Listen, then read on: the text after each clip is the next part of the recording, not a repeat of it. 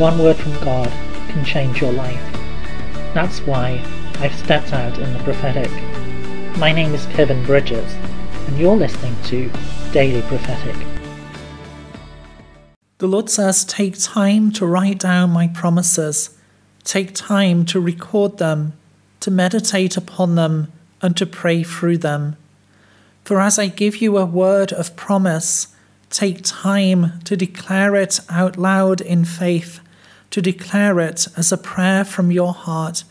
For as you take my word and as you make it your own, as you proclaim it over your life, you will see it brought forth in a powerful way.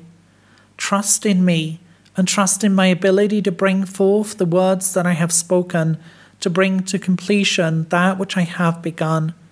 Know that I am with you and that I am blessing you anew this day. I'm filling you anew with my grace, filling you anew with my strength and with my power. Trust in me, for I truly am at work, making all things new, bringing forth that which I have promised to you. Would you like a personal prophetic word? Check out the website in the description below. Don't forget to subscribe to get your daily word of encouragement. And whilst you're here, why not have a look at some other of the videos that I've made? God bless you and have a really great day.